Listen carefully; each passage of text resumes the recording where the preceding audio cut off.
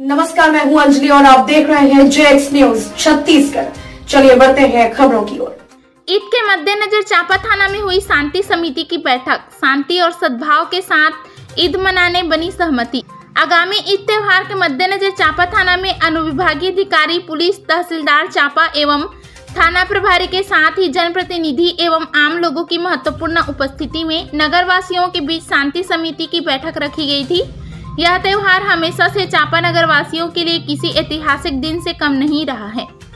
जब हर वर्ष आपसी भाईचारा एवं संपूर्ण सद्भावना के साथ ईद का त्यौहार हर वर्ष संपन्न होता आ रहा है, बैठक के द्वारा आपसी चर्चा के उपरांत सभी के मध्य इस बात को लेकर सहमति बनी कि आने वाले त्योहार ईद को सभी शांतिपूर्वक ढंग से मनाने पर सहमत हुए। साथ ही होने वाली भीड़ पर यातायात को लेकर चर्चा के दौरान इस बात पर भी सहमति बनी कि नगर के किस ओर से आवागमन बना रहेगा तथा किस मार्गों को यातायात के लिए प्रतिबंधित किया जाएगा, जिसे लेकर भी आपसी रजामंदी त्यौहार को देखते हुए विभिन्न विषयों को लेकर चर्चा के दौरान प्रशासनिक अधिकारियों ने स्पष्ट किया कि त्योहार हम सब मिलकर शांतिपूर्वक ढंग से संपन्न करेंगे और इस दौरान सुरक्षा व्यवस्था को चौक चौबंद रखा जाएगा।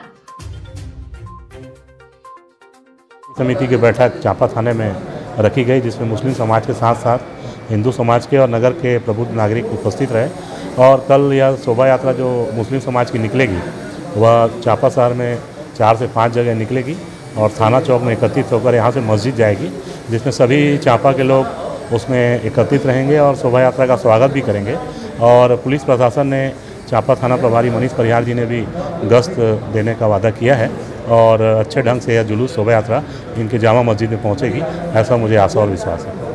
एक्चुअली क्या है, हमारे अध्यक्ष जी का दो तीन दिन से तबीयत बहुत ख़राब है और वे अभी घर पर आराम कर रहे हैं और सुबह मेरी उनसे बात हुई थी तो उन्होंने मुझे कहा है कि आप जाके बैठक अटेंड करिए और बहुत ही ज़्यादा सर्दी जुकाम जो वायरल चल रहा है, उससे अभी वे पीड़ित हैं।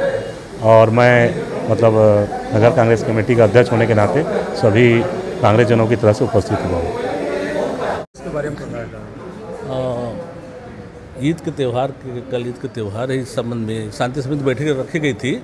सभी समुदाय के लोग आए थे और चापा के जनप्रतिनिधि भी आए थे सम्मान नागरिक भी आए थे।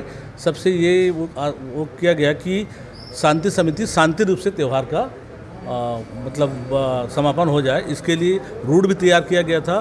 कहाँ से रैली निकलेगी चार पाँच जगह बताए वहाँ से निकलेगी कितने समय निकलेगी कितने जगह जगह पहुँचेगी किस जगह इकट्ठा होंगे और इस सब संबंध में आपस में चर्चा किया गया सभी ने सहमति दिया कि शांतिपूर्वक त्यौहार को मनाया जाएगा इस संबंध में मीटिंग रखी गई थी।